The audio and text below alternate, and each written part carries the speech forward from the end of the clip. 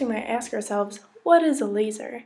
And a laser is a device that emits light through a process of optical amplification based on the stimulated emission of electromagnetic radiation.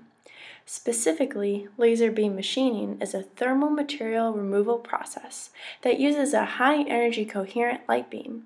This process is used widely for drilling and cutting of metallic and non-metallic metals. There's other applications for it, such as the aerospace industry. Within this industry, engine components and instrument cases are created through laser beam machining.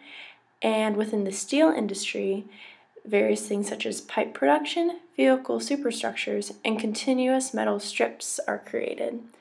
And even interestingly, the medical industry.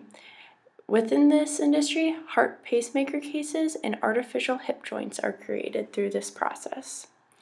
Aside from industry, laser beam machining can be used for fun, such as etching designs onto glass such as coasters, drinking glasses, and windows.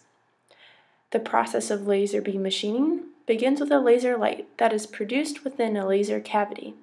When the light source is applied, an atom is struck by a photon and becomes energized.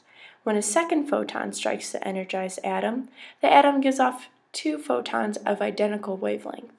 This stimulates further emission as the process goes on. The laser rod also has mirrors on both ends that are parallel to one another, which increases the emission. One of the mirrors is particularly transmissive and allows some of the laser energy to escape the cavity.